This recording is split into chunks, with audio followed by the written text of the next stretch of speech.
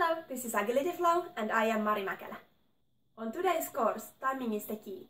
You want to adjust your handlings with the dog's speed so that you can tell clearly where to run next.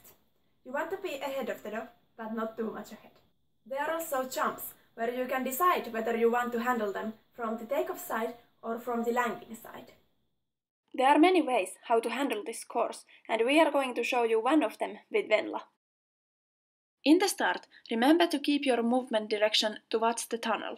If you are handling obstacle 4 by sending your dog to the backside of the jump, remember to trust your dog and leave early so that you have time to handle obstacle 5. Sending the dog over 6 gives you advantage on obstacles 7 and 8. When the dog is in the tunnel, wait a bit so that when you start running, your movement direction tells her obstacles 10 and 11. However, don't wait too long because you may want to change sides on obstacle 12. I'm handling jump 13 from the takeoff side so that we both get the straight approach to 15.